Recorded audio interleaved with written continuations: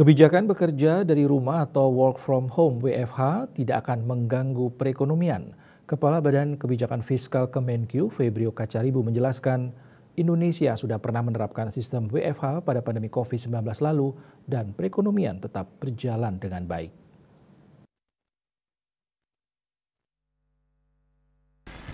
Menurut Febrio, selain konsumsi rumah tangga juga berjalan cukup tinggi saat periode tersebut. Hal itu lanjut Febrio mengindikasikan sistem bekerja dari rumah tidak memiliki potensi mengganggu perekonomian ke depan. Kebijakan bekerja dari rumah digaungkan oleh pemerintah, khususnya pemerintah Pemprov DKI Jakarta untuk mengurangi polusi.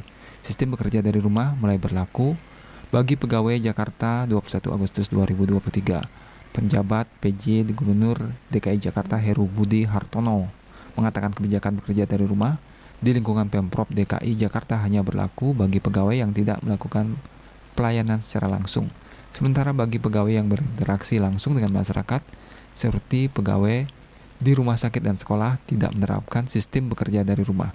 Di sisi lain, Menteri Koordinator Bidang Kemaritiman dan Investasi Luhut Binsar Panjaitan menyebutkan, pemerintah akan fokus pada pengendalian emisi di tiga sektor, yaitu transportasi, industri, dan pembangkitan listrik serta lingkungan hidup. Menurut Luhut, pengawasan kualitas udara dan komprehensif dan partisipatif masyarakat juga dibutuhkan sebagai bagian dari upaya bersama.